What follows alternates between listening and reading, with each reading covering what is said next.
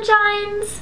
I'm here today to talk to you guys about the book Magic the Crest by Rena Marthaler because I just finished it last night and it is pretty exciting.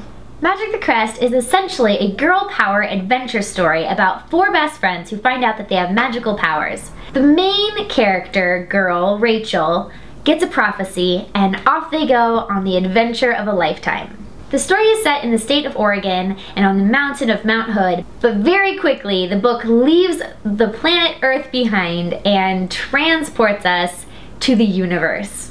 These four girls have elemental powers, so things like ice and fire and earth and air are the powers that these girls can call on action happens really quickly in this book, which was something that I totally appreciated. And as I was reading it, I was really excited because it was sort of like a trip down memory lane, nostalgia of the way that I used to write when I was Rena's age. And that was really exciting. I found myself laughing at some of the situations that the characters got themselves into, and I felt myself really feeling like one of them in situations where they would stop and all they would want to eat was pizza.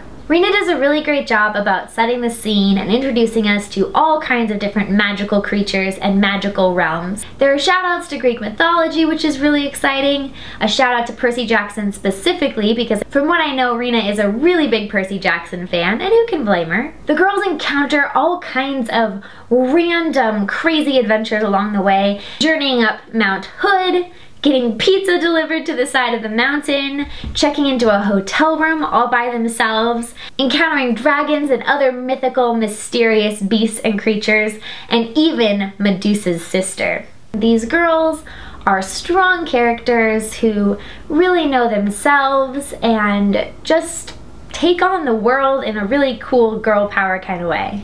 Time passes super quickly and the action happens at a very fast pace. So I found myself at times having difficulty keeping up. Things were happening so fast. There were also cute little moments where Rena would break the fourth wall, as it were, to use a theater term, and actually start to talk to the audience and either give advice or remind us of something that maybe we had forgotten about or give us survival tips. There were cool flashbacks and cool little ways that she broke that fourth wall and communicated with the audience in a really funny and unique way. I love that about kid authors. I remember being the same way myself, just not afraid to just tell it like it is, write it like you feel it, and I really enjoyed that about this book. I totally recommend Rena's book to kids of all ages and adult kids too who might just want to remember a little bit what it was like to maybe have that crazy, awesome, overactive imagination like Rena does or maybe just want to see the cool things that kids are creating these days with the technology and resources and parents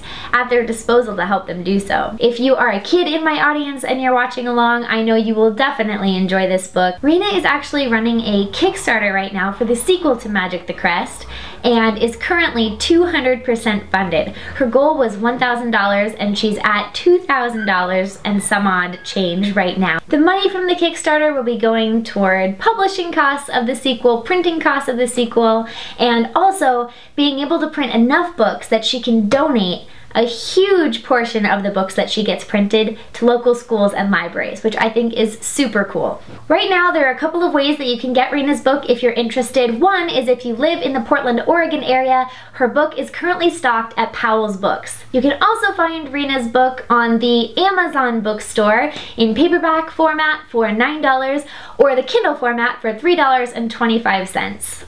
Magic the Crest is a super easy read. It's 120 pages, seven chapters of non-stop exciting adventure, and I really enjoyed every minute of it. So in the spirit of Reading Rainbow having fully been funded on Kickstarter as well, I encourage you guys all to go and check out Rena's book.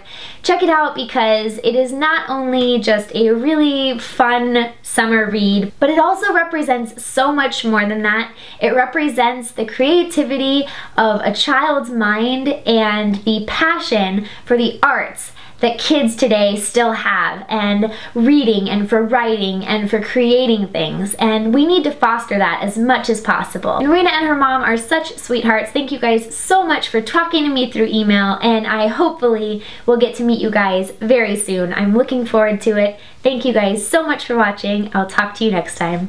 Bye!